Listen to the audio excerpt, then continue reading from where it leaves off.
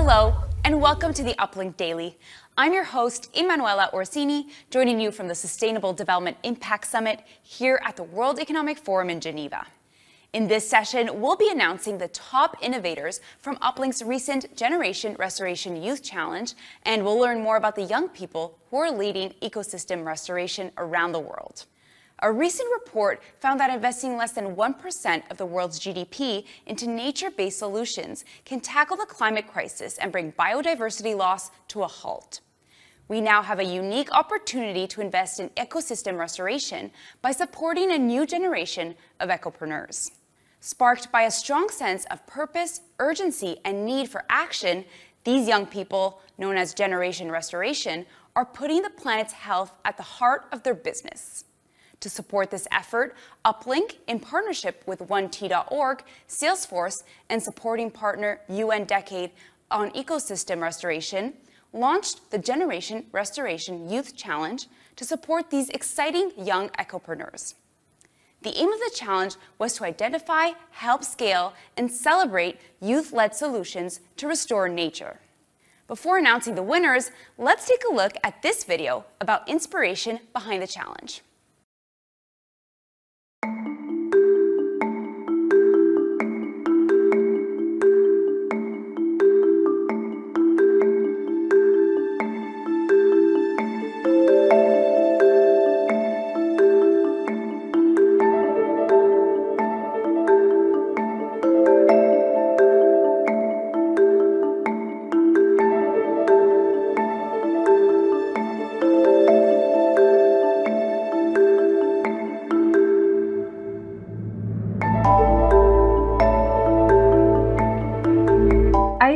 Ecopreneurship having a great role when it comes to tackling the climate crisis and especially when it comes to improving the quality of our environment because we are looking at eco solutions, solutions that are not harming the planet.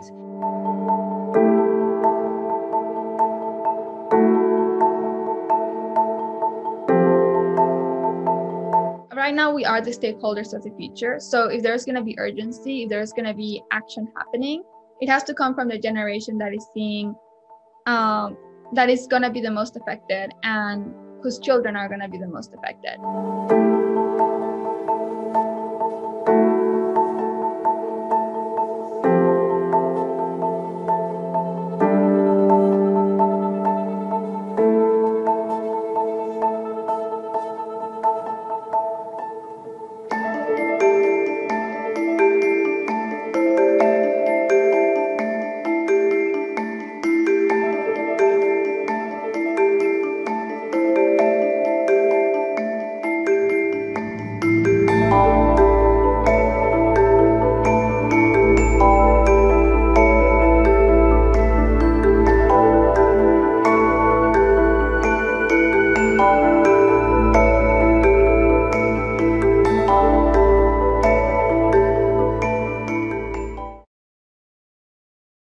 Joining me now to talk more about the importance of youth led solutions to restore nature is Bianca Williams, Marketing Manager Global Impact from Salesforce.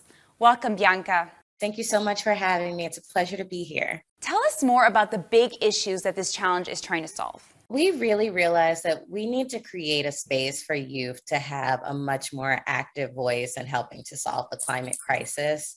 Um, we need youth led voices and initiatives that are helping us conserve and restore ecosystems and to really be the driving force of the UN decade on ecosystem restoration. We really wanted to focus on initiative examples that modeled successful ecopreneurship, inspired and advocated for other young ecopreneurs who might not even know that they're ecopreneurs yet, and also just demonstrate a long term capacity for sustainability of these awesome ideas. So we don't want, you know, just a, a, a one and done solution. We really want to focus on solutions that are scalable and sustainable. Why does Salesforce support this challenge? Well, at Salesforce, environment is a key stakeholder. Um, we take that very seriously. We are using every tool in our toolbox to tackle climate change. We are a founding member of 1T.org. We've made a commitment to support 100 million trees by 2030. Um, and we really understand the social and economic benefits of nature based solutions on the planet. And so it's only natural that, you know, we would get behind this challenge and really understand because ecopreneurship and innovation is just at the heart of so much that we do. We understand that youth are a driving factor of that and where we can lend our support um, from our network, from funding, um, from our thought leadership to be able to give a platform to youth in this way, we're absolutely behind it. Can you talk a bit about how Salesforce will be working with the selected innovators? I was just so honored to be able to be on the review panel. I saw so many great ideas. I am so excited about um, what the future holds for this winning cohort. Um, and, you know, Salesforce is just so excited to be a network and a platform to be able to support we were able to be a, a funding partner. Um, so really excited about um, seeing that grant money go to excellent use and really excited about being able to be a network for folks to tap into um, and be able to make their ideas even bigger and broader. How can young ecopreneurs' innovations truly make an impact? Using your voice and using your platform. Um, there's no idea too big or too small. Um, we understand that very small ideas can create a ripple effect and really drive a larger global impact. So if that means starting in your own backyard in your own community and, and identifying a need and then thinking about how you can help solve it, getting folks involved in your network to think about how you can help solve it and submitting to challenges like this that provide a network and a platform and funding um, to really help get those ideas off the ground. I think that that is such a big focus. You can never, ever undermine the ideation process and the fact that small ideas can turn into really long term global impact. Thanks for joining us, Bianca. Now, it's time to announce the solutions that have been selected by our expert panel to become top uplink innovators and to receive the support that Bianca just spoke about. Congratulations to our Generation Restoration Youth Challenge winners.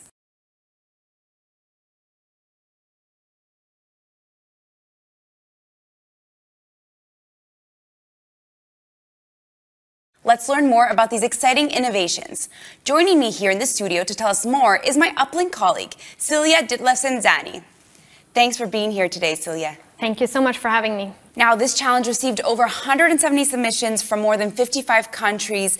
That's a great response. What does this tell you about the critical need for nature based solutions from all over the world? You know, whether it is climate change, it is human health, or economic uh, development, nature can help us. And I think that sometimes we forget that. By using the tools that nature is already providing us, we can create solutions to the challenges set forward to us by the SDGs. But in order to do that, we actually need to triple our annual investment in nature based solutions by 2030, and we need to increase fourfold by 2050 in order to tackle both both the climate and the biodiversity crisis that is upon us. But in order to do that, we need everyone to step up and do their part. You know what's so exciting is that through our uplink challenges, both this one but also the others, is that we see youth stepping up all over the world. They are stepping up, pioneering innovative solutions, they are empowering their peers, and they are advocating for the urgent change that we so necessarily need right now. Um, and you said it so well earlier, is that right now we're in unique, um, we have a unique opportunity to really uh, invest in ecosystem restoration by supporting this new generation of ecopreneurs and change makers. And that is what this challenge is all about. So tell us more about these top innovators, these young uh, ecopreneurs that have been selected as the winners of this challenge. So after a rigorous review and selection process, um, we went from 170 submissions and we have selected 14 14 solutions from 12 different countries operating all over the world. And we're so excited to share with you here today who they actually are. Um, they include one organization that is uh, establishing 120 pollinator gardens in Zimbabwe by working with farmers in farming intensive communities.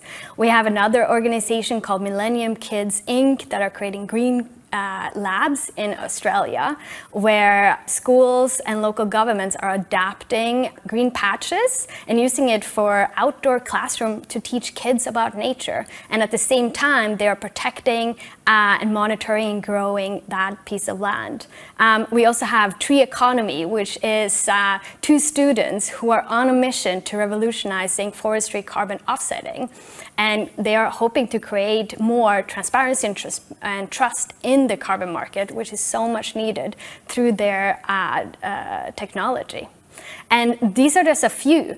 Uh, we have 14 of them, and they are all equally inspiring, impactful, and I'm so I hope you have a chance to check them out. Uh, we're so lucky to also have Yanik Nyberg from Seawater Solutions to join us here later today to share more about his solution. Yeah, so we'll hear more about him, so stay tuned.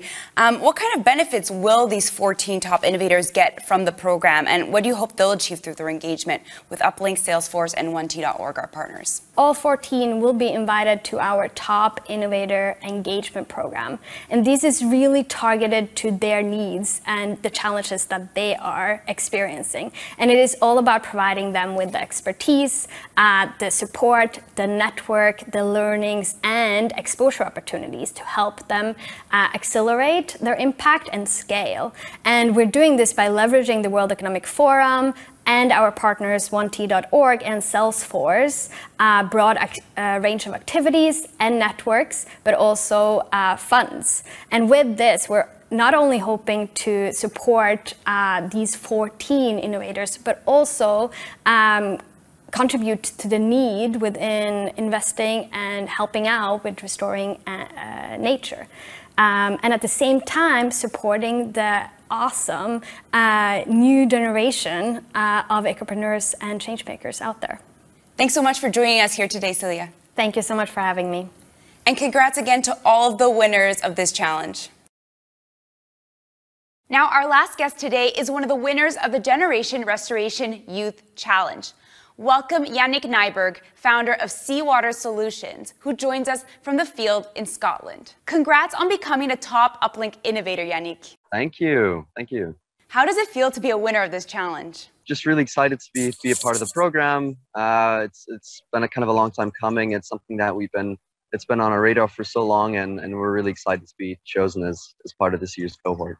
We're excited to work with you. Now, tell us about Seawater Solutions. Seawater Solutions is an agri-environmental company uh, that restores wetlands and turns underutilized or degraded lands like deserts into productive ecologies uh, where food can be grown with seawater and uh, wetland ecosystems can be restored. Why did you decide to apply to this challenge? We're hoping to get out of the program really just to, uh, to be a part of the network, um, to be able to uh, collaborate with, with people like ourselves um, and see kind of where those collaborations can take us, really kind of bounce back ideas with people in the cohort, and also really have access to a network of, of mentors, of, of potential future partners, and use it as kind of a platform to talk about the work that we're doing here in the UK and Europe and, and further afield in Africa and Asia. What do you hope to get out of this program? We're really focused on scaling our operations globally and to do that, we need a, a, whole host of supporters from environmental finance to engineering and to really champions within these specific target regions in sub Saharan Africa and Asia uh, that can help us really target these areas and, and, and introduce our systems and our approaches to uh, places that we've been eyeing up for, for a very long time. Well, thanks for joining us today and best of luck with your uplink journey. That's it for this edition of the Uplink Daily. Thanks for tuning in. We hope you enjoy the rest of the Sustainable Development Impact Summit. We'll see you again soon.